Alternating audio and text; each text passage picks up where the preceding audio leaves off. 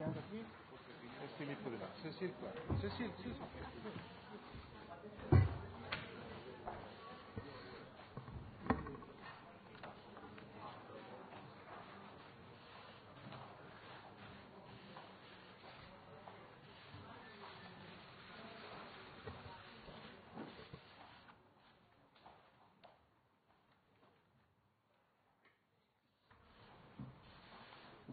Il Consiglio dei Ministri oggi ha affrontato alcuni provvedimenti, mi concentro in particolare nella comunicazione sul provvedimento più importante. Abbiamo eh, approvato un decreto legge, quindi un eh, decreto che riguarda il tema della cultura. È un decreto legge eh, che interviene in molti campi e che dà il primo segno di inversione di tendenza che il nostro Governo eh, vuole dare a quasi 100 giorni dalla nascita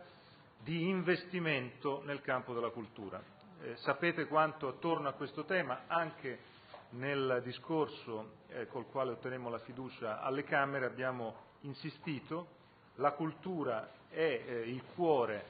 del nostro Paese e la possibilità di investire sulla cultura e di creare posti di lavoro, di creare competitività e produttività in questo campo, di attrarre investimenti, di attrarre turisti, è eh, sicuramente una delle grandi priorità del nostro Paese e del nostro Governo. Ci sono molti problemi nel campo della cultura, dovuti eh, ovviamente da problemi eh, legati alle questioni economiche, di risanamento, alla mancanza di fondi, a problemi legati anche al fatto che eh, su molti territori alcune questioni si sono trascinate nel tempo e quindi abbiamo ritenuto necessario un intervento che fosse un intervento eh, di largo impatto che desse eh, alcuni messaggi molto forti. I messaggi molto forti riguardano appunto il fatto che vogliamo investire sulla cultura e vogliamo soprattutto creare un legame molto forte tra giovani e cultura. Vedrete in particolare una misura eh, che riguarda una grande opportunità per i giovani nel nostro Paese nel campo della eh, cultura. Cito i pilastri essenziali eh, del provvedimento, il provvedimento ha diversi eh, articoli, vedrete poi il testo finale perché eh, è stato approvato ma eh, ci sono alcuni aggiustamenti che sono in corso in questi minuti, in queste ore e che riguardano appunto alcuni interventi eh, precisi, ovviamente poi c'è anche la confezione della parte che ha a che vedere con le coperture che poi eh, vedrete eh, in un secondo momento e che si sta finendo di definire in, in questi minuti. Gli interventi principali quali sono? Innanzitutto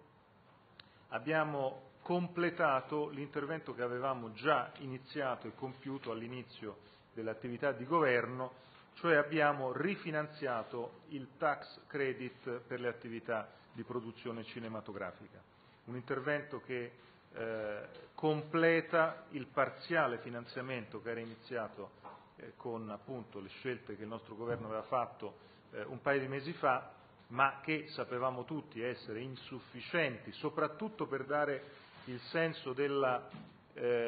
della stabilizzazione della direzione. Eh, il rifinanziamento, che riguarda l'anno prossimo, riguarda anche eh, il 2015, quindi è una stabilità diciamo, di questo eh, intervento che riteniamo molto importante per far sì che il nostro Paese continui ad attrarre produzioni cinematografiche che stanno dando grandi opportunità di lavoro e che crediamo essere una delle questioni sicuramente più interessanti e più importanti, uno dei, casi di successo italiani degli ultimi tempi, credo che sia eh, un fatto sicuramente utile e molto, molto importante. Poi ehm, c'è questo intervento che abbiamo titolato 500 giovani per la cultura, è un intervento che ha a che fare con per l'appunto un'opportunità eh, di lavoro offerta a 500 giovani per un tempo determinato, questa opportunità appunto 500 giovani per un periodo determinato di tempo che ha a che vedere con eh, lo sviluppo dell'attività di inventariazione, catalogazione e digitalizzazione del patrimonio culturale eh, del nostro Paese. Come sapete, purtroppo, questa che dovrebbe essere la precondizione per fare tutto il resto eh, è un'attività ancora oggi non compiuta. Quindi è il tentativo di unire nuove tecnologie, digitalizzazione a un campo che è la base poi essenziale di, eh, della possibilità nostra di fare attorno al grande patrimonio culturale italiano eh, tutto ciò che in termini di attrazione e di sviluppo può essere eh, fatto, può essere compiuto.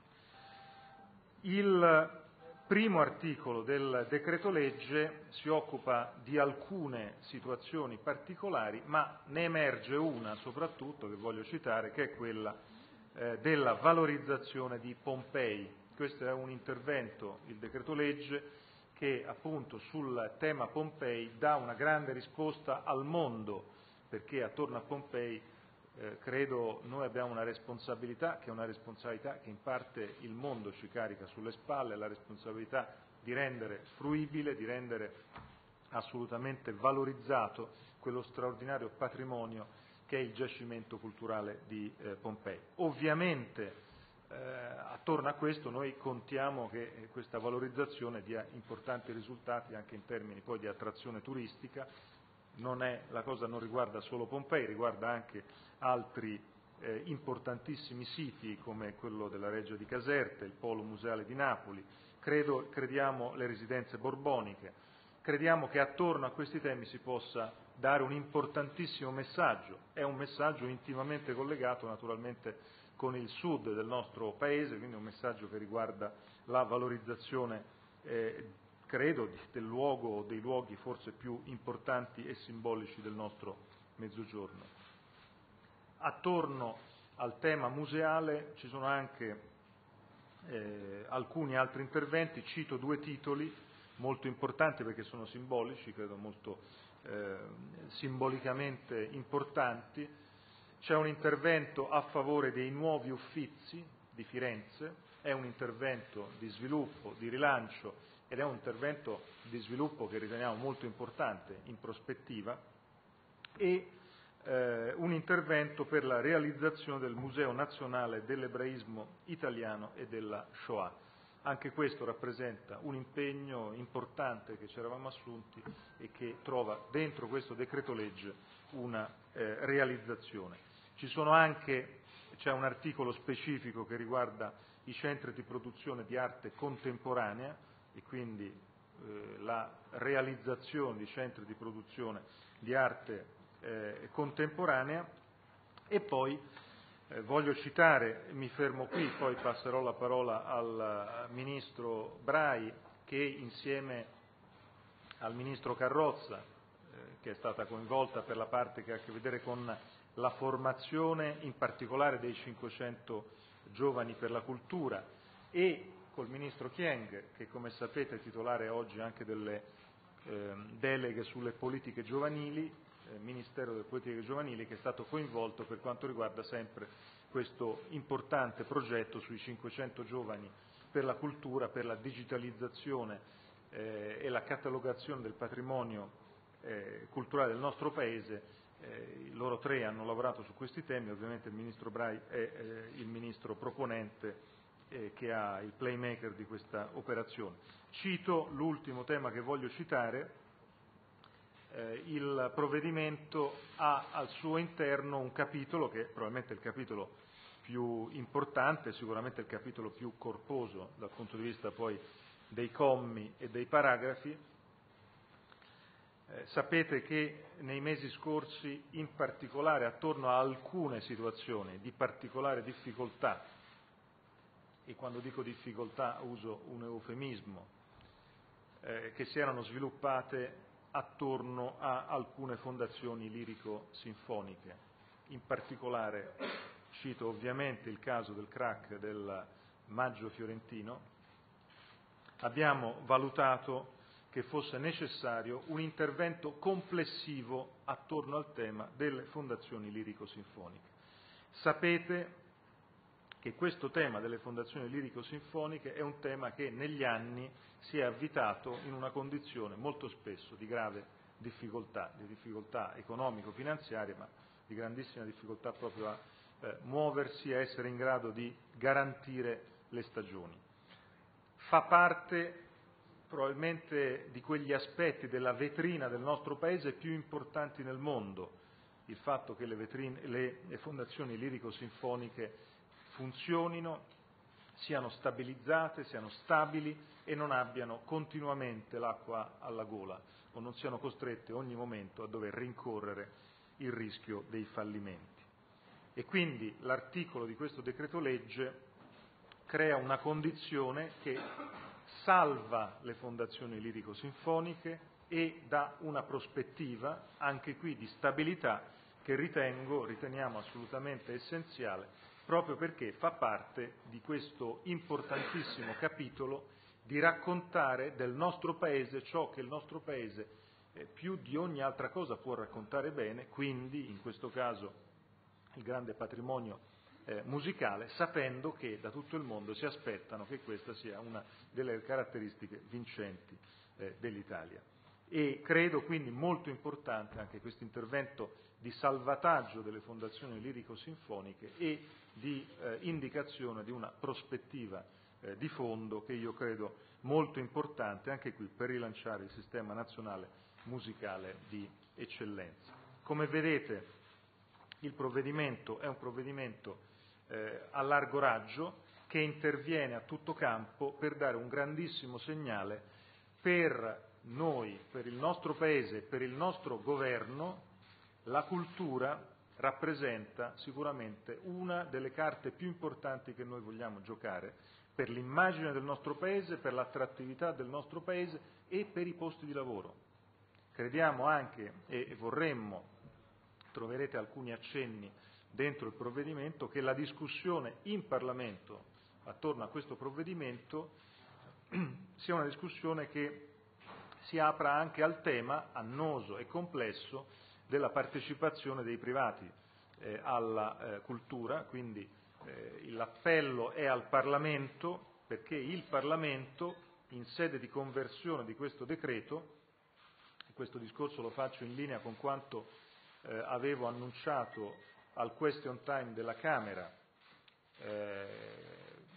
tre settimane fa, quando ho partecipato al question time della Camera, rispetto a dei eh, delle domande, delle interrogazioni che eh, fu svolta appunto eh, alla Camera,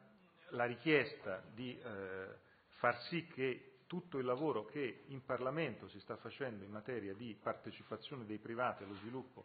eh, della cultura trovasse un veicolo nel quale discutere. Questo provvedimento può essere un veicolo nel quale in Parlamento anche la discussione attorno a questi temi può trovare alcuni eh, punti di caduta e alcuni elementi sicuramente di discussione. Siamo aperti con il Parlamento a valutare in sede di conversione eh, quali elementi ulteriormente migliorativi qui possono essere eh, introdotti. Mi fermo qui, do la parola al Ministro Brani. Buongiorno a tutti. Erano quasi 30 anni che un governo non dedicava un intero decreto alla cultura. È il segno più evidente che il Presidente del Consiglio, che voglio ringraziare, ma tutto il governo, Maria Chiara e Cecil che sono al mio fianco, hanno lavorato in questi mesi convinti che dalla cultura si può ripartire, si può ripartire per creare crescita, sviluppo, posti di lavoro, per dare un futuro a questo Paese e soprattutto per credere nelle nuove generazioni e in quelle che sono le loro aspettative rispetto alle scelte politiche del governo. Quindi è una scelta politica molto molto chiara. Siamo partiti da Pompei, come dice giustamente il Presidente, perché Pompei deve essere il simbolo di quello che siamo capaci di fare per valorizzare uno dei più grandi beni culturali che non solo ha il nostro Paese ma il mondo. Questo vuol dire che dobbiamo assolutamente rispettare gli impegni presi per concludere il cronoprogramma entro il 2015, ma dobbiamo fare di Pompei l'esempio migliore che cultura e turismo possono dare al Paese una grande opportunità di crescita. Per fare questo abbiamo deciso che ci sarà un'unità Grande Pompei che verrà stabilita per tutte quelle che sono le iniziative di coordinamento fuori dal sito archeologico, quindi tutte quelle strutture che devono migliorare l'accessibilità dell'area di Pompei. Abbiamo deciso che ci sarà un responsabile che sarà un direttore generale che garantirà anche il rispetto di quei tutti quegli impegni relativamente ai bandi che dovremo portare a compimento rispetto agli impegni europei. Abbiamo deciso che Pompei avrà una sua sovrintendenza speciale per Pompei, Ercolano e Stabia e nello stesso momento abbiamo deciso di far entrare Caserta, le dimore borboniche, nel polo museale di Napoli. Faremo questo con una grande attenzione al turismo, a fare in modo che ci siano tutte quelle strutture che consentano realmente di fare di Pompei l'esempio più chiaro e trasparente di chi vuole investire nel turismo e fare del Mezzogiorno d'Italia un esempio positivo del nostro Paese. Come ha detto sempre il Presidente, abbiamo siamo convinti che in questo legame inscindibile ormai tra turismo e cultura dobbiamo portare a compimento alcuni grandi musei del Paese quindi abbiamo deciso di trovare le risorse per portare avanti il lavoro degli Uffizi e del Museo della Shoah di Ferrara. Ma abbiamo anche deciso un finanziamento per alcune zone di emergenza del Paese, alcune chiese, che in questo momento hanno subito dei danni e sui quali dobbiamo al più presto intervenire per salvaguardare il patrimonio artistico italiano. Per fare questo abbiamo bisogno di sapere che cosa possediamo e porteremo avanti questo progetto ambizioso di catalogazione e di inventario del nostro patrimonio. Faremo questo valorizzando le strutture del Ministero dei Beni Culturali, quindi l'Istituto Centrale del Catalogo, le sovrintendenze saranno tutte coinvolte, ma sarà coinvolta soprattutto l'università, perché valorizzare l'arte vuol dire fare ricerca sul nostro patrimonio artistico. Devo molto ringraziare il Ministro Carrozza per tutto il sostegno che ci ha dato e ci darà in questo progetto, progetto che prevede l'impegno di 500 laureati che saranno selezionati e che potranno fare un primo tirocinio di 12 mesi. Abbiamo rivolto poi una particolare attenzione a quello che è il valore del cinema e dello spettacolo per il nostro Paese, convinti che nel cinema c'è una parte importante del patrimonio e della memoria di questo Paese. Quindi il Presidente del Consiglio si è impegnato a rispettare un impegno che avevamo preso e abbiamo quindi garantito eh, tutto quanto la cifra necessaria per il tax credit per stabilizzarlo nei prossimi anni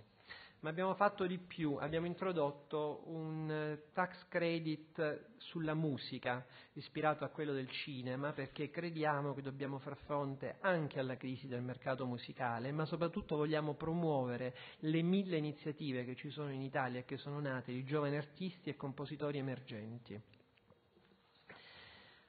Abbiamo poi fatto la grande riforma, eh, come dire, un po' di emergenza sulle lirico-sinfoniche, perché come sapete avevano dei problemi eh, strutturali seri di indebitamento e abbiamo fatto questo ispirati alla voglia non solo di procedere a un piano triennale che metta in salvaguardia questo che è uno dei patrimoni più belli, il bel canto è una delle tradizioni storico-artistiche più importanti di questo Paese,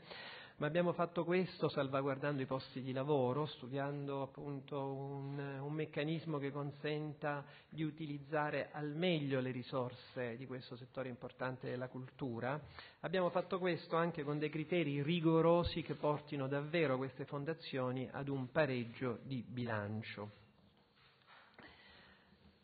Siamo poi passati ad affrontare eh, il problema della governance di queste riforme liriche, garantendo eh, l'importanza della presenza delle autonomie all'interno delle fondazioni liriche, quindi garantendo che i sindaci potranno presiedere queste fondazioni, ma che il meccanismo di governance dovrà avere momenti di controllo rigoroso per fare in modo che non si ripeta più una situazione di accumulo di debiti come è successo in questi anni.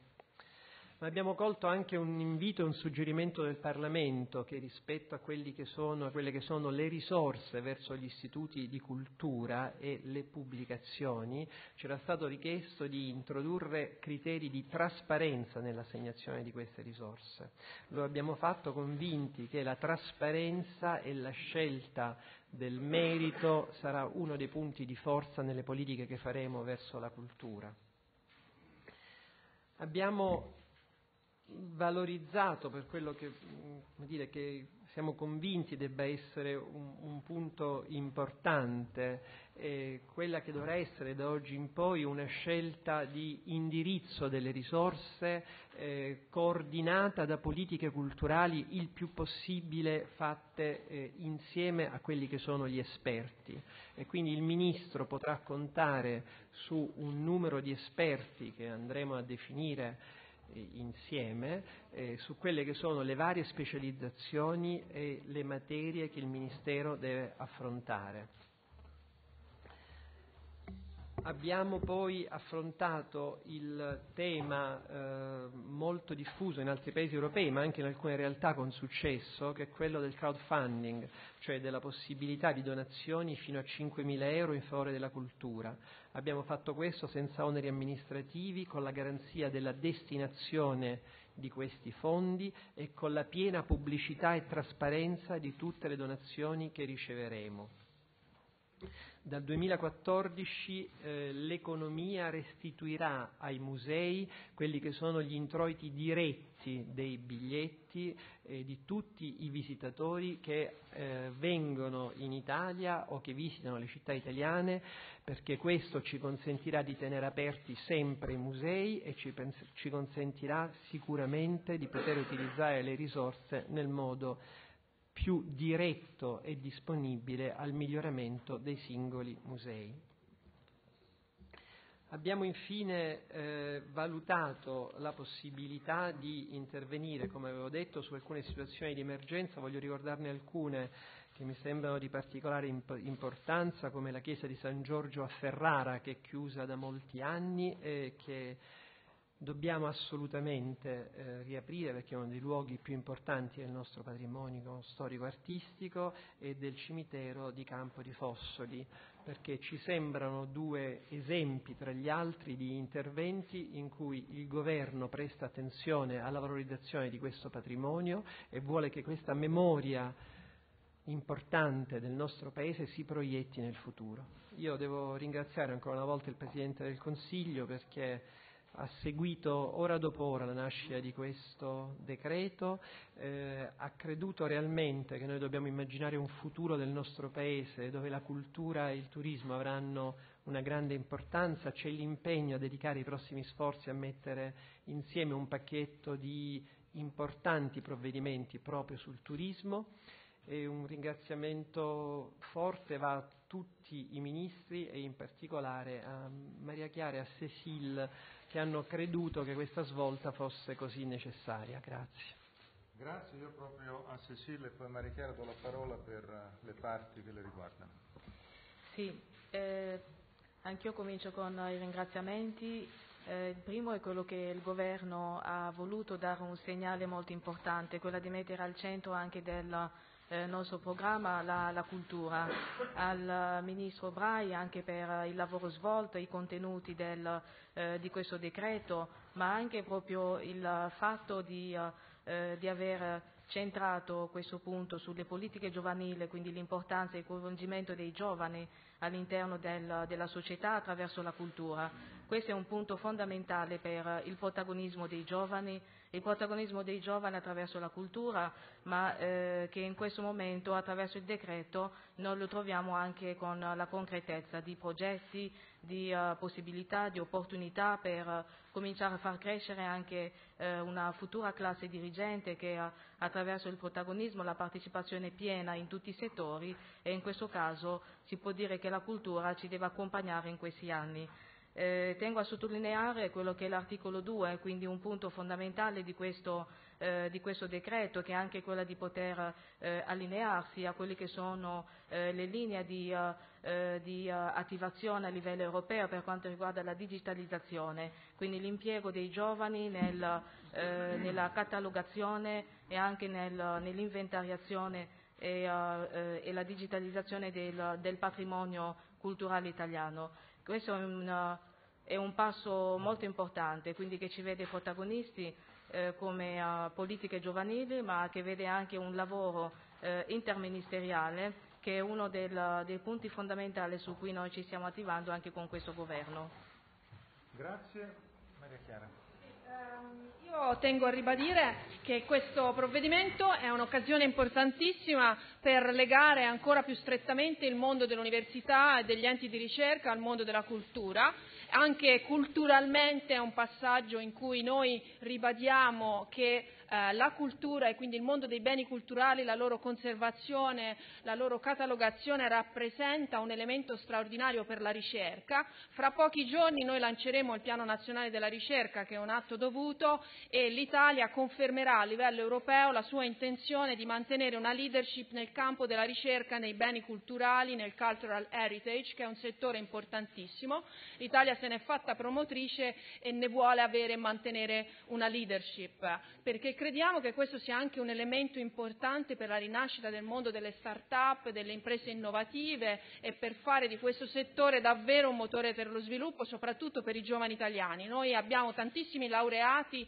e studenti nelle materie del, del campo delle scienze umane, nei beni culturali, e qui ci sarà un'occasione, ben mille giovani tirocinanti nel, nei servizi per la cultura nell'ambito del fondo straordinario che c'è in questo provvedimento, quindi un'attenzione ai giovani, ai tirocinanti, sono tutti gli elementi tipici appunto del governo Letta che ha voluto ribadire l'importanza del tirocinio eh, per gli studenti e poi abbiamo 500 giovani coinvolti in questo aspetto della digitalizzazione, elemento essenziale sia per l'agenda digitale sia per la digitalizzazione elemento essenziale per la ricerca, perché costruire questo patrimonio digitale che rappresenti i nostri beni culturali poi è eh, l'infrastruttura più importante per poter effettuare ricerca in questo settore. Quindi penso che il Ministro Brai oggi sia l'attore più importante, ha fatto davvero un bel lavoro, e,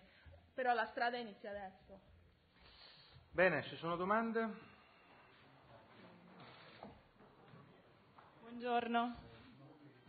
Sì, sì, certo, Livia Michilli, skytg 24 Eh, oggi quindi il Governo vara eh, questo nuovo decreto che nei contenuti che ci avete un po' illustrato eh, sembra avere anche un respiro diciamo, di medio-lungo periodo, eh, però eh, fuori le dichiarazioni degli esponenti politici eh, di PD e PDL stanno cominciando a salire di tono. Quindi eh, Presidente, lei eh, pensa, teme eh, che alla fine il governo rischi di restare un po' schiacciato? O che ci sia il rischio di un logoramento lento, lei che eh, mi sembra abbia sempre detto eh, di non voler andare avanti a tutti i costi. E poi se è possibile una seconda domanda, ehm, i due sottosegretari Biancofiore e Miccichè avevano eh, anticipato di voler rimettere il loro mandato nelle mani di Berlusconi i ministri, i loro ministri, diciamo, o comunque lei eh, ne sa qualcosa eh, in più, eh, se ne è per caso parlato in Consiglio dei Ministri, qual è stato anche il clima, se le posso chiedere, eh, di questa riunione di governo? No, su questa seconda questione non, non se ne è parlato, non ho notizie. Sulla prima questione, come avete visto, eh, l'attenzione alle questioni concrete e l'attenzione soprattutto alle realizzazioni nell'interesse del Paese rimane per quanto mi riguarda la stella polare. Sono assolutamente consapevole del momento delicato politicamente, l'ho detto ieri, lo ripeto anche adesso, io sono tra quelli che mette davanti a tutto l'Italia. Se c'è chi vuole mettere davanti eh, altre priorità, io penso che in questo momento sia importante invece avere con chiarezza qual è l'ordine delle priorità. Prima di tutto viene il Paese, prima di tutto viene l'Italia, poi vengono gli altri eh, interessi che non possono che essere considerati come interessi subordinati a questo interesse che è eh, superiore rispetto a tutti. Quindi io spero che prevalgano gli interessi generali per il bene del Paese, per il bene dell'Italia, non gli interessi di parte. Sono anche assolutamente convinto che questo accadrà, perché quando si guarda nel merito le cose, le questioni, ci si rende conto che eh, oggi il Paese ha bisogno, ha bisogno di essere governato, ha bisogno di risposte, queste sono alcune delle risposte eh, di cui appunto il Paese ha bisogno, oggi ne abbiamo messe in campo qualcuna di queste, quindi io ripeto, spero che prevalgano gli interessi generali, l'interesse dell'Italia, l'interesse del Paese, io lavoro perché prevalga l'interesse dell'Italia, naturalmente rispetto alla sua domanda l'interesse dell'Italia non è un logoramento, quindi non considero che il logoramento e che il continuare a tutti i costi faccia parte dell'interesse del Paese. L'interesse del Paese vuol dire lavorare e lavorare bene, come noi stiamo facendo e come io sono convinto saremo in condizione di continuare a fare. Eh, buongiorno Paolo Conti, Corriere della Sera. Tre domande tecniche al Ministro Brai. Eh, la prima è se voi, dopo questa decisione su Pompei, prenderete contatto con l'UNESCO che aveva manifestato forti preoccupazioni e quindi per dimostrare che vi state muovendo. Seconda domanda, essendo Pompei zona a rischio di malavita, eh, esiste un filtro per l'assegnazione dei lavori che voi avete in qualche modo messo a fuoco per evitare queste infiltrazioni? Terza domanda sugli enti lirici che come lei sa Ministro eh, in Italia sono tra quelli che in, in, Europa sono quelli che producono meno e hanno minore quantità di repliche nell'anno se voi in questo contesto eh, pensate di allineare ai parametri europei gli enti lirici. Eh, sì, certamente a Pompei lo abbiamo già fatto nell'audizione che abbiamo fatto con la Commissione Senato quando abbiamo fatto la visita a Pompei, era presente anche il Presidente dell'UNESCO Italia e abbiamo concordato che le scelte, le linee strategiche saranno condivise. Abbiamo già un comitato di garanzia e di trasparenza per quelle che saranno tutte le fasi dei bandi con cui ci siamo impegnati eh, ad utilizzare i fondi disponibili, è presieduto dal prefetto. E la cooperazione tra le lirico-sinfoniche per fare in modo che venga mantenuto alto il livello di qualità e venga diffusa il più possibile questa grande tradizione italiana anche all'estero è uno dei requisiti su cui tutti gli attori della riforma dovranno impegnarsi. Buongiorno Presidente, sono Enrica Agostini di Regnos 24. Eh, volevo chiederle, quando è nato il suo governo eh, era chiaro che eh, si sarebbe arrivati a questo giorno e a questa sentenza, quindi era un, un fatto che probabilmente anche il Partito Democratico aveva eh, tenuto in conto, ma eh, questa sentenza però oggi cambia qualcosa, cioè prova, c'è un nuovo imbarazzo per essere al governo con una persona che comunque è stata condannata per frode fiscale nel momento in cui lei ha lanciato una forte battaglia contro l'evasione fiscale. Ripeto quello che ho detto prima, io sono assolutamente convinto che oggi siamo in una condizione in cui ognuno deve assumersi le sue responsabilità, chiaramente di fronte a tutti. Quindi per quanto mi riguarda, ripeto, deve prevalere l'interesse del Paese, l'interesse del Paese è fare le cose, tutte, anche la lotta all'evasione fiscale e farla con la massima determinazione come abbiamo intenzione di farla, ma sono convinto che ognuno oggi, tutti i partiti, eh, sia quelli dell'opposizione sia a maggior ragione quelli che sostengono il governo devono assumersi responsabilità e fare delle scelte che riguardano il futuro. Io penso, ripeto, eh, il programma di governo è qui e la nostra determinazione a fare le cose, come avete visto stamattina, è assolutamente forte e confermata. Prego. Buongiorno Nadia Pietrafitta dell'agenzia La Press. Diceva, ha rivolto un appello al Parlamento per quel che riguarda la gestione, l'affidamento anche ai, preva, ai privati per quel che riguarda la cultura. È previsto proprio un affidamento di alcuni monumenti ai privati della gestione? No, su questo tema voglio chiarire meglio, siccome il provvedimento eh, è un provvedimento che ha alcuni capitoli, tra questi capitoli è stato citato anche il tema eh, delle donazioni eh, dei privati, come il Ministro eh, Brai ha fatto, ho semplicemente legato il provvedimento alla discussione che io ho avuto in, Parlamento quando mi è stata fatta la domanda su quei temi e quindi ho detto, non è un appello al Parlamento, dico al Parlamento che la discussione sulla conversione in legge di questo decreto legge, se il Parlamento lo vorrà, può essere l'occasione per affrontare anche temi di ulteriore eh, approfondimento del ruolo dei privati nel campo della cultura. Stop. Andrew Fry di Bloomberg News. Due domande. La prima sui ministri, um, eh, in particolare quelle del PDL e in particolare quello del, uh, del, del deputato Alfa, Alfano.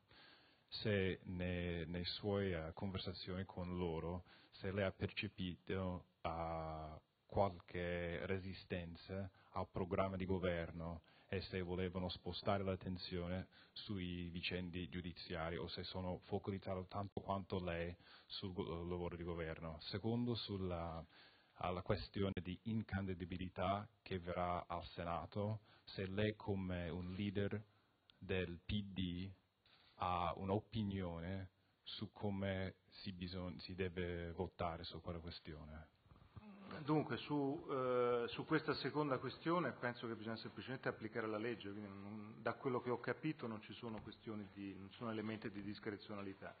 Sulla prima questione la discussione in Consiglio dei Ministri è stata una discussione sui temi